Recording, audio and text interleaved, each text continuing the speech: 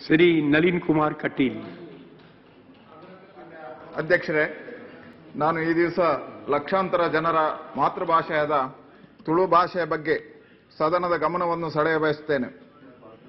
ನನ್ನ ಮಾತೃಭಾಷೆಯು ಹಾಗೂ ಪಂಚ ದ್ರಾವಿಡ ಭಾಷೆಗಳಲ್ಲಿ ಒಂದೂ ಆದ ತುಳು ಭಾಷೆಯು ದೇಶದ ವಿವಿಧ ಭಾಗಗಳಲ್ಲಿ ವಾಸಿಸುವ ಲಕ್ಷಾಂತರ ಜನರ ಭಾಷೆಯಾಗಿದೆ. ಕರ್ನಾಟಕದ ಕರಾವಳಿ ಜಿಲ್ಲೆಗಳಾದ ದಕ್ಷಿಣ ಕನ್ನಡ, ಉಡುಪಿ, ಚಿಕ್ಕಮಗಳೂರು, ಕಾರವಾರ, ಕಾರವಾರಗಳಲ್ಲಿ ತುಳು ಭಾಷೆಯನ್ನಾಡುವವರಿದ್ದಾರೆ. ಹಾಗೆಯೇ ಕೇರಳದ ಕರಾವಳಿ ಜಿಲ್ಲೆಗಳಲ್ಲೂ ಸಹ ತುಳುವನ್ನಾಡುವವರಿದ್ದಾರೆ. ತುಳು ಭಾಷಿಕರು ಇತರರಿಗಿಂತ ಭಿನ್ನವಾದ ಸಾಂಪ್ರದಾಯಿಕ ಹಾಗೂ ಐತಿಹಾಸಿಕ ಹಿನ್ನೆಲೆಯನ್ನು ಹೊಂದಿದ್ದಾರೆ. ಅವರದೇ ಆದ ಸಂಸ್ಕೃತಿ, ಆಚಾರ ವಿಚಾರಗಳನ್ನು ಅನುಸರಿಸಿಕೊಂಡು ಬರುತ್ತಿದ್ದಾರೆ. ಆದರೆ ತುಳು ಭಾಷೆಯನ್ನು ಸಂವಿಧಾನದ ಎಂಟನೇ ಅನುಚ್ಛೇದದಲ್ಲಿ ಸೇರಿಸದಿರುವುದು ದುರದೃಷ್ಟಕರ ವಿಷಯವಾಗಿದೆ.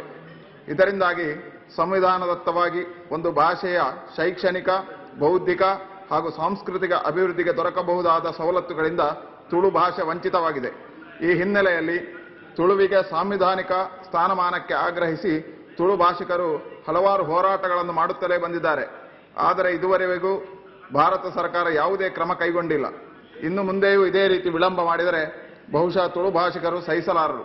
ಎರಡು ವರ್ಷಗಳ ಹಿಂದೆ ಪೂಜನೀಯ ಧರ್ಮಸ್ಥಳ ವೀರೇಂದ್ರ ಹೆಗ್ಗಡೆಯವರ ನೇತೃತ್ವದಲ್ಲಿ ತುಳು ಸಮ್ಮೇಳನ ನಡೆದು ಸುಮಾರು ಮೂರ್ನಾಲ್ಕು ಲಕ್ಷ ಜನ ಭಾಗವಹಿಸಿ ಈ ಒತ್ತಡವನ್ನು ತಂದಿರ್ತಾರೆ ಆದ್ದರಿಂದ ನಾನು ಈ ತಮ್ಮ ಮೂಲಕ ಕೇಂದ್ರ ಸರ್ಕಾರವನ್ನು ಒತ್ತಾಯಿಸುವುದೇನೆಂದರೆ ಲಕ್ಷಾಂತರ ಜನರ ಮಾತೃಭಾಷೆಯು ಆಡು ಭಾಷೆಯೂ ಆದ ತುಳುವನ್ನು ಅಭಿವೃದ್ಧಿಪಡಿಸಲು ಹಾಗೂ ತುಳು ಭಾಷಿಕರ ಭಾವನಾತ್ಮಕ ಹಾಗೂ ಬೌದ್ಧಿಕ ಹಿತಾಸಕ್ತಿಯನ್ನು ಕಾಪಾಡಲು ಆದಷ್ಟು ಬೇಗ ತುಳುವನ್ನು ಸಂವಿಧಾನವಾದ ಎಂಟನೇ ಅನುಚ್ಛೇದದಲ್ಲಿ ಸೇರ್ಪಡೆಗೊಳಿಸಲು ಕ್ರಮ ಕೈಗೊಳ್ಳಬೇಕೆಂದು ವಿನಂತಿಸುತ್ತೇನೆ. ಧನ್ಯವಾದ ಥ್ಯಾಂಕ್ ಯು